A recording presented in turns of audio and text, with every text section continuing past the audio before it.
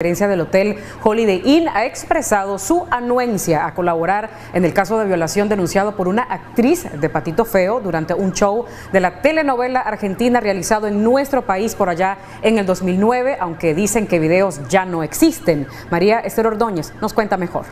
Efectivamente, el elenco artístico de la telenovela argentina Patito Feo se hospedó en el Hotel Capitalino Holiday Inn hace nueve años y la gerencia del mismo está disponible para ayudar en las investigaciones de ser necesario, aunque la colaboración no podría ser mucha, ya que el sistema de seguridad del establecimiento ha cambiado, pero sí aseguran que darán toda la información requerida por las autoridades si así lo amerita.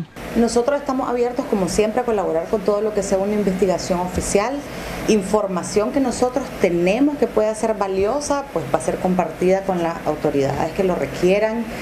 Eh, sabemos de la importancia, es un tema que se ha vuelto eh, bien mediático y por supuesto si hay víctimas de por medio nosotros estamos dispuestos a apoyar. No tenemos información de reconstrucción de hechos porque pues fue hace 10 años prácticamente los colaboradores que podían haber sabido algo del tema pues ya la mayoría no está con nosotros. Cuando sepamos exactamente eh, o la víctima contacte con nosotros para darnos más información de horarios o, el Ministerio Público o la policía o quien se vaya a encargar de hacer una investigación nos dé más información de, horarios, tal vez podemos ayudar a reconstruir algo. No, dentro de nuestras habitaciones y como en ningún hotel del mundo no guardamos información porque es un área privada eh, actualmente los llavines de las habitaciones guardan una memoria para saber qué llave entró a ese llavín, el horario, la procedencia de la llave, porque son codificadas y tecnología, pero tampoco esa es información que nosotros guardamos por 10 años.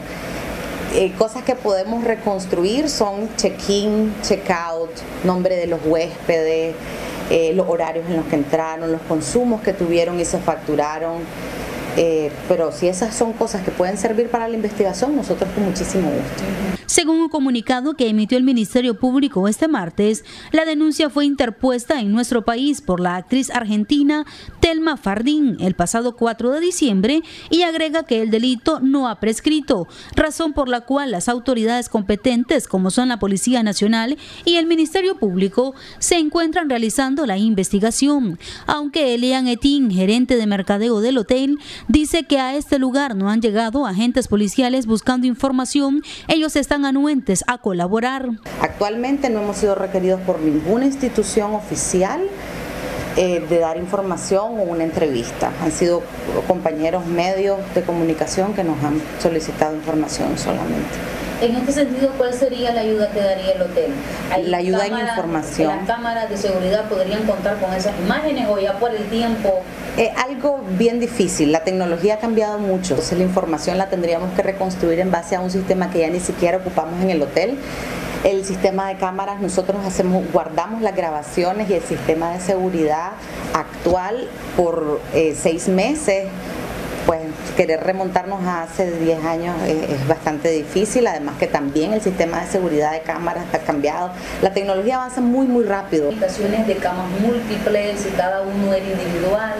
Nosotros hacemos lo que el promotor nos solicita. Habían habitaciones sencillas, habían habitaciones dobles. Sencilla significa que estaba una persona alojada, doble significa que habían dos personas en camas individuales.